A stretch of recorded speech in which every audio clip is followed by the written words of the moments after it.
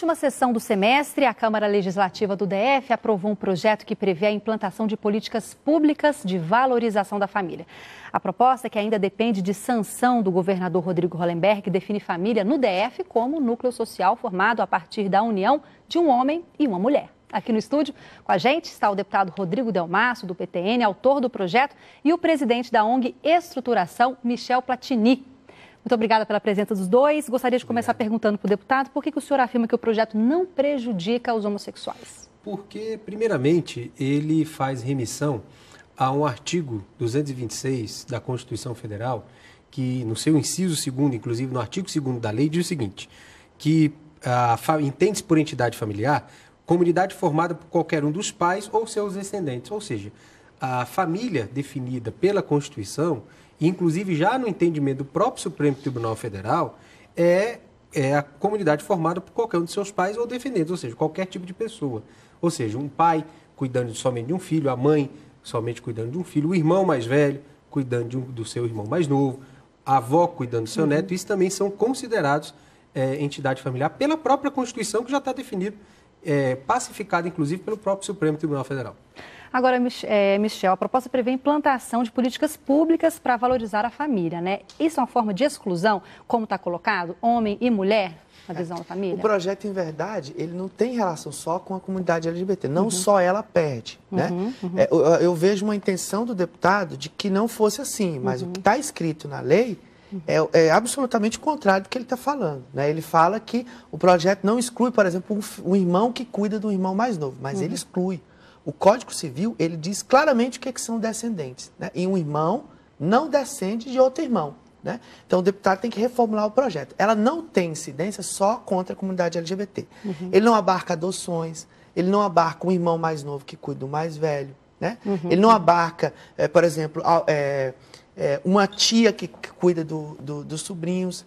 Se o projeto fosse plural e reconhecesse o conteúdo de pluralidade que as, as famílias têm, ele seria um bom projeto. Mas ele constrange alguns segmentos da sociedade. Ele, ele prevê, inclusive, o dia da família. Uhum, em que nas, nas escolas, escolas né? ele vai ser discutido e uhum. debatido, né, é, é, vai ser visibilizado um modelo de família que não está presente nos, nos lares brasileiros. Uhum. A maioria dos lares brasileiros as mulheres que cuidam dos filhos sozinhos. Entendi. E esse modelo de homem, mulher e criança não está presente nos lares Agora, deputado, a, a proposta está seguindo para sanção. Não é... tem como reformular. É possível? Não, não é possível. Eu quero deixar claro que eu sou oriundo de uma família, como ele acabou de falar. Uhum. É, minha mãe me criou. Uhum. É, meu pai saiu de casa, eu tinha 5 anos de idade, foi minha mãe que me criou.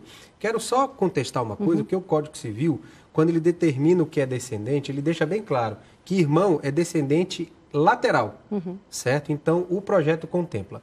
Só que eu quero deixar bem claro que uhum. isso é uma discussão já pacífica no Supremo Tribunal Federal. O Supremo Tribunal Federal já defendeu e já determinou essa questão. Então, assim, qualquer remissão do texto da lei, como nós estamos fazendo, ao que está na Constituição Federal, uhum. se remete ao texto da, é, ao texto do Supremo Tribunal Federal. Mas, mas a, a, discussão está também na Câmara Federal. Na Câmara não é Federal. uma discussão que cabe à Câmara e não à Câmara Legislativa? A, a Câmara Federal cabe à definição do que é família. Uhum. Aqui, nós só fizemos remissão daquilo que está determinado na Constituição. Uhum. Agora, esse projeto ele traz alguns benefícios, muitos benefícios. Vou dar um exemplo. Nós estamos discutindo no Brasil a redução da maioridade penal. Uhum. Um dos principais fatores da criminalidade hoje, só para ah, ser bem sucinto,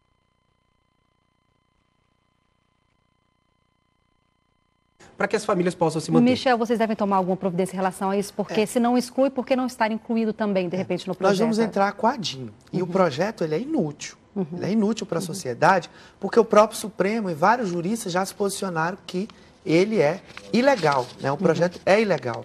Ele confronta decisões e cláusulas pré-pétreas da Constituição que definem direitos iguais para todo mundo. Uhum. Você não pode, detri, é, é, você não pode é, priorizar um segmento ou um tipo de família em detrimento uhum. do outro. Uhum. Se nós não fôssemos pagadores de impostos, ainda assim nós somos dotados de direitos. De direitos. Tá e não, não, não, pode ser oferecido nada menos e nada mais do que direitos. Tá certo. Infelizmente, nosso tempo terminou. Agradeço a presença dos Muito dois. Obrigado. Muito obrigada.